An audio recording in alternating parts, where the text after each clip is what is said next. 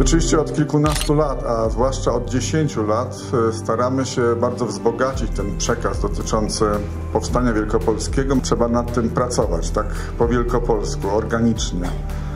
Nie tylko przy okazji takich rocznic jak ta największa do tej pory, stulecia, ale każdego roku. Prace oczywiście były bardzo różne i poziom był bardzo różny. Twórcy e, wpadli na pomysł, e, wiedzieli jak chcą te, filmy, e, te, te historie swoje opowiadać, także naprawdę, naprawdę serce rośnie.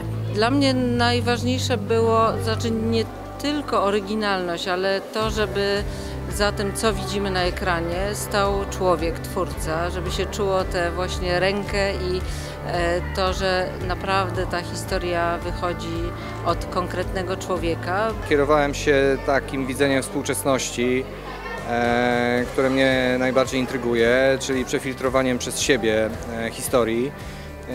I parę było naprawdę interesujących prac, szczególnie robionych przez młodych ludzi, które i mówiły o historii, i mówiły o nich. To jest zawsze najbardziej wartościowe. E, My w zasadzie żyjemy z dnia na dzień.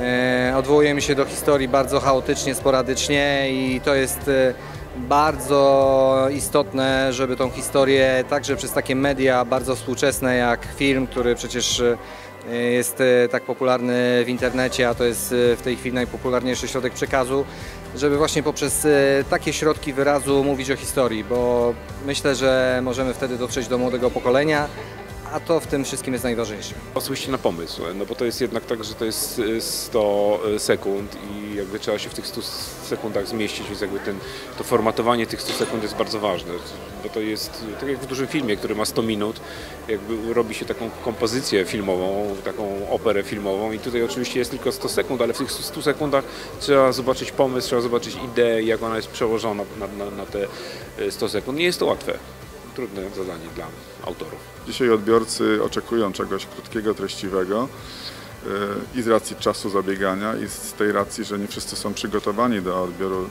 dłuższych treści e, poświęconych sprawom historycznym. Wydaje się, że taka właśnie krótka filmowa formuła przekazu będzie adekwatna do takiego właśnie oczekiwania odbiorców. Ja jestem zachwycona filmami nominowanymi. Nie widziałam wszystkich, które zostały nadesłane, ale te osiem, które e, obejrzeliśmy na gali, rzeczywiście są fantastyczne, każdy inny. I jestem również zachwycona, że moich dwóch faworytów zajęło dwa pierwsze miejsca, bo e, są to filmy bardzo proste w swoim odbiorze, a jednocześnie niezwykle sugestywne właśnie dla ludzi młodych. E, Według mnie to jest film skierowany przed- przede wszystkim do, do najmłodszych i to do nich chyba ma trafić i wywołać taką ciekawość, e, chęci poznania e, wydarzeń sprzed 100 lat.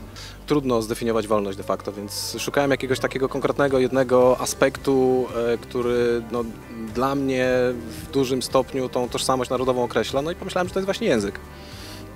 Język, który jest całą, całym systemem znaczeń, symboli, no i który tak naprawdę jest niezwykle istotnym elementem tożsamości, nie tylko polskiej, ale tożsamości w ogóle narodowej, w związku z czym jak, jakim takim nośnikiem kultury, tradycji, etc.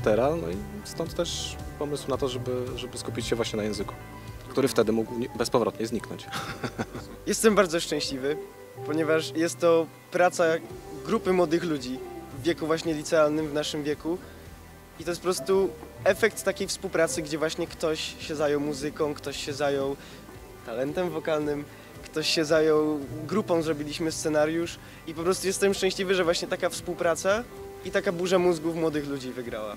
Te filmy zasługiwały na nagrody, zasługi- na- zasługiwały na wyróżnienia, były pomysłowe, oryginalne, posługiwały się różnorodną stylistyką e, widać było po ich autorach, kiedy wręczaliśmy im nagrody, e, że te filmy były robione z wielką pasją, że włożono w nie wiele serca i zamiłowania, a przede wszystkim starano się odpowiedzieć na to, e, co było w haśle naszego e, konkursu. Nie zmarnujmy szansy tej. Pokazano, że potrafimy tą szansę docenić.